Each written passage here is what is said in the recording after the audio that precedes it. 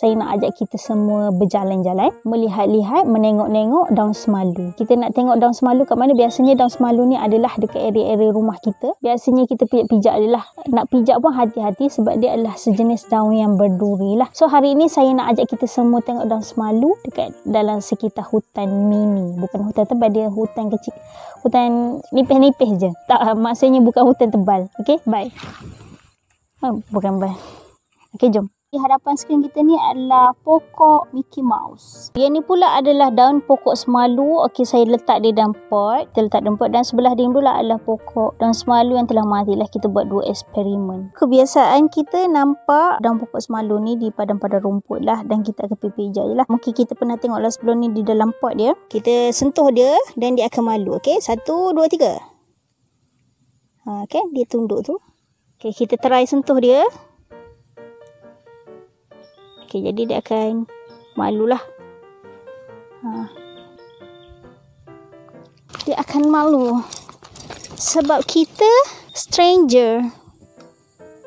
Kalau kita boleh tengok dekat sini, batas malu ni ada duri-duri, okey, untuk melindungi diri dia dan dia ada bulu-bulu halus. Dan ni adalah daun dia lah daun semalu. Okay, bila kita sentuh dia akan malu. Jadi hati-hati kalau berjalan ni kadang-kadang dia boleh sangkut dekat kulit kita jadi duka berdarah sebab dia, dia ada duri kan? Okay, jadi hati-hati.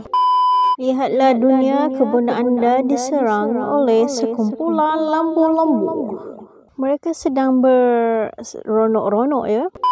Daun semalu ni dia ada nama saintifik dia iaitu Mimosa pudica. Jadi selain daripada nama saintifik, dia juga ada nama subfamily. Okey, dia ada nama family dia, kategori order, kategori kingdom dan nama bahasa Melayu dia kita panggil daun semalu. Okey, seperti yang dekat skrin kita sekarang ni, ada sebahagian daripada daun semalu yang telah kuncup, dia dah malu dan masih ada yang belum kuncup. Yang saya nampak sekarang ni ada serangga serangga berjalan dekat daun tu semut-semut dan serangga lain jugalah ya. Dia berjalan-jalan dan dia telah berjaya lah ya menguncupkan daun-daun semalu ni tadi. Selain daripada serangga kecil yang terbang-terbang atas uh, daun semalu ni kadang-kadang lembu berlari-lari pun ha, dia kuncup je. Yelah sebab lembu besar kan macam kita dia lebih besar daripada kita. Inilah sikit sebanyak perkongsian untuk kita hari ini tentang daun semalu. Daun semalu ni juga boleh dibuat ubat sebenarnya tapi hati-hati untuk kita yang tidak mahir dalam pengendalian sesuatu jenis tumbuhan ni, eloklah kita